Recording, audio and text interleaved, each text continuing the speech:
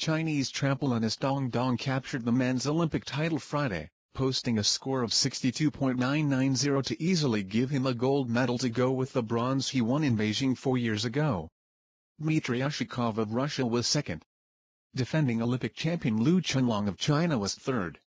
The 23-year-old Dong dominated the event, posting the top overall score in qualifying and beating Ushakov by more than point in the finals.